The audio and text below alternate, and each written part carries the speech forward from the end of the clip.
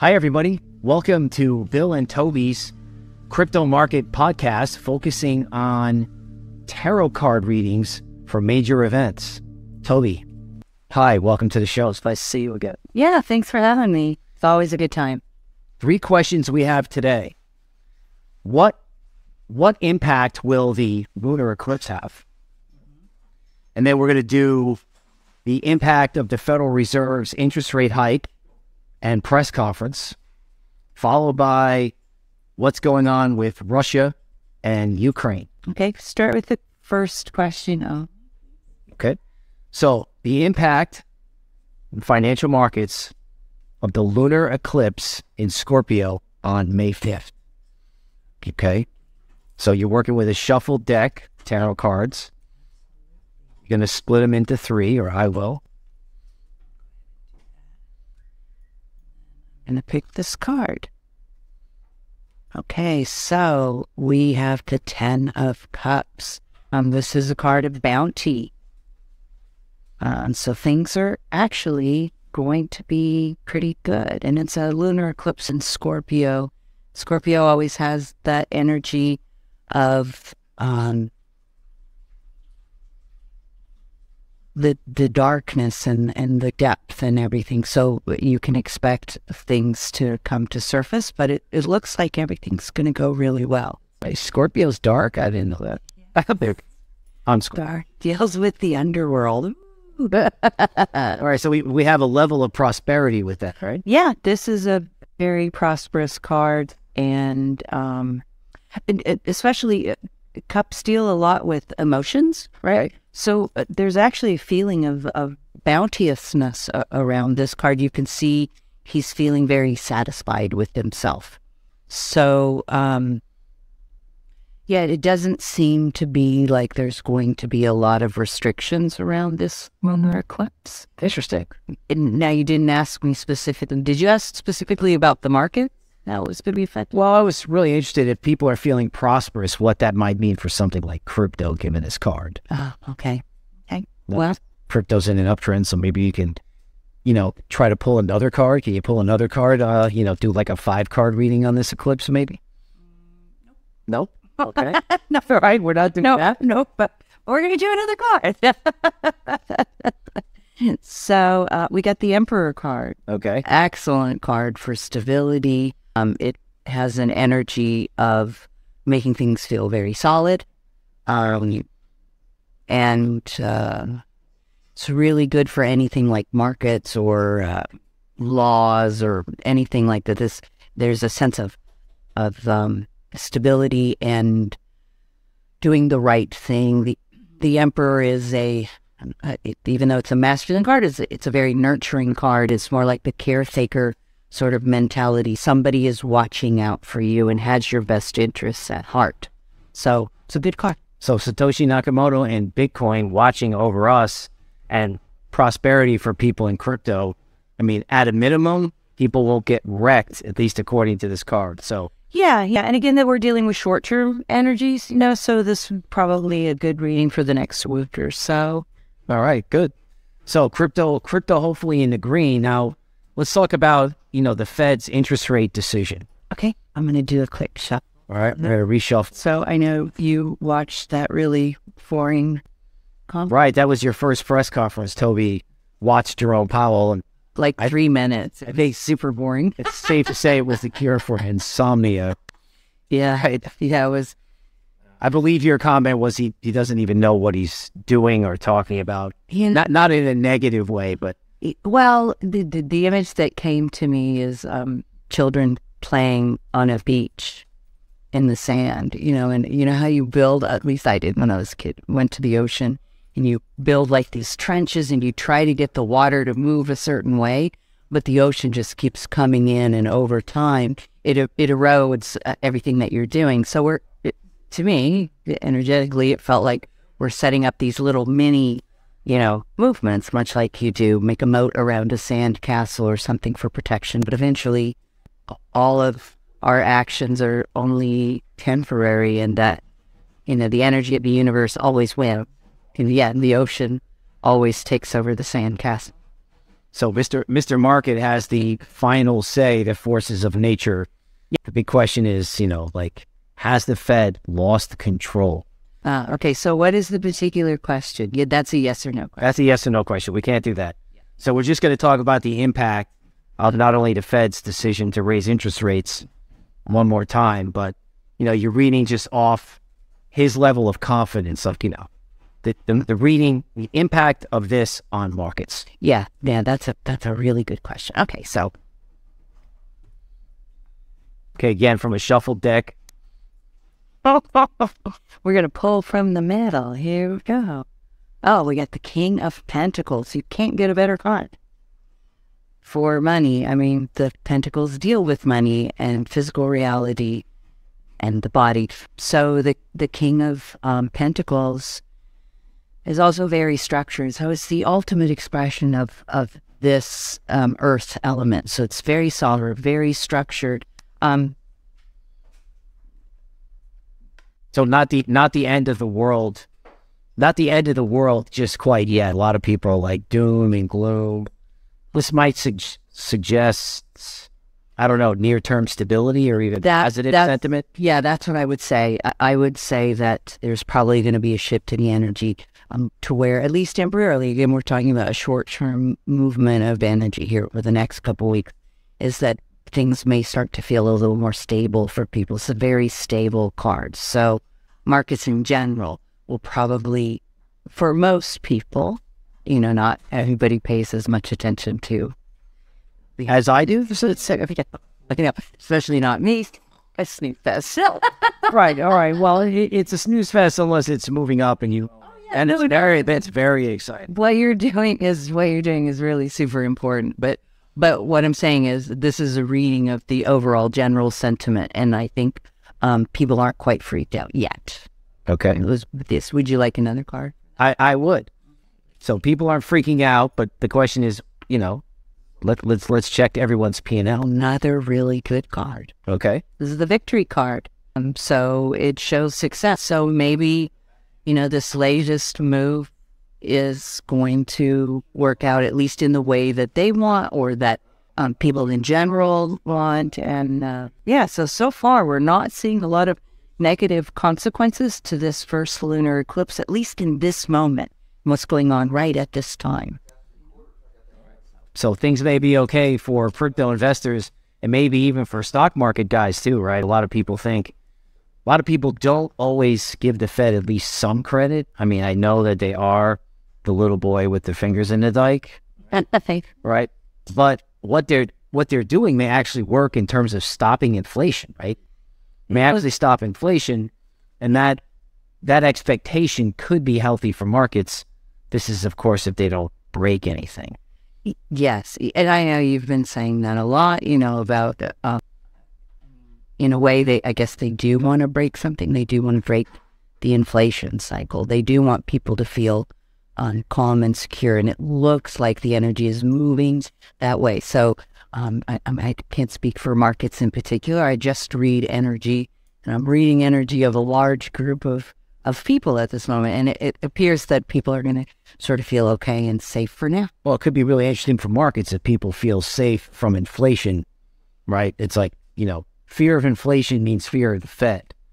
Less fear about inflation, less fear about the Fed. That can have positive market implications, you know, or at least stabilizing. Now, speaking of stability, the Russians versus the Ukrainians. Very, uh, and That's a big thing. I, I I don't watch the news. That's good. That's, right. Well, that's good. We don't uh, we don't want you to watch the news. We want you to, to to give us the reading straight. That's that's why this is so cool. Yeah. Right. This is so cool. Right. Just reading the energy of the moment. So, the what's happening with the war in Uk- the Ukraine, and I'm gonna go ahead and pull three cards on this one for you. Okay. Thank you. Let's do this, and the three cards represent the past, the present, and the future. So we'll draw the past first.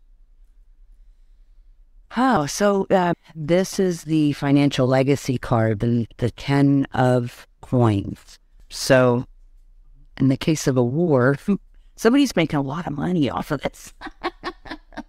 so um, yeah, mo- money it, money is definitely the the at the root of of everything that's going on there, and I, I think we always kind of know that, right? Okay. I mean, anybody who doesn't think that uh, wars are primarily caused for financial reasons and the rest is just an excuse. I mean, there's a whole bunch of wars always going on in Africa, but we got no mo- financial interest there, so nobody does anything, right? So, so money is the pot. Okay. That's that's Po- possibly wheat and oil, right? Commodities, lots of different forms of money. Let's keep that one in mind. absolutely. I mean, we're not just talking about coinage, but yes, it, there there's uh there's definitely some movement around money and and who's making money off of this. This is inherently important to know. Um, but things are going to be shifting. So now we have the Knight of um, Pentacles, and this is slow movement and a message around that money. So something is shifting, and in that the the energy is uh, moving, not not bad, and, and not very quickly. But a but a pivot in a way. A this would indicate a pivot. Yes, Because wheat wheat had been falling, right? And then we turned around recently on news I won't tell you, okay. right? And then gold actually started to take off Yeah. uh, as well, right? So we're always talking about gold and Bitcoin. So you know, if if money is the issue, if a war has a money issue and there's about to be a shift, yes. right? Okay, that again could be in commodities. It could also be in Bitcoin, but maybe commodities, right? So maybe it's a hot summer for certain areas of the market. Maybe we can get more information off the third call. Well, let's see. Yeah, this is the future. So let This is where we're going. Oh, the Queen of Swords. So a decision will be made. So swords always represent um, mental work. It's an air sign, and the the Queen makes decisions based on logical information, but she much more comes from her heart.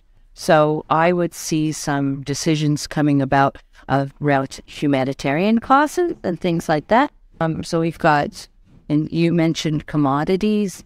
Maybe there's something going on there with feeding people. I don't know, but Maybe they they, they get a, kind- they get a corridor either open or closed, like either the wheat corridor opens or the wheat corridor closes, right? you know the markets.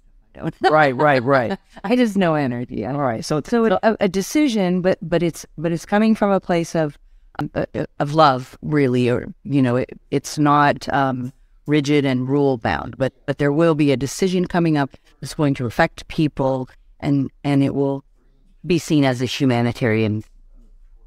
Yeah, so that could actually mean peace too, potentially, yes. Right? That Potentially is, if wheat goes high enough, or if there's a if there's enough disturbance, it could then trigger actual peace.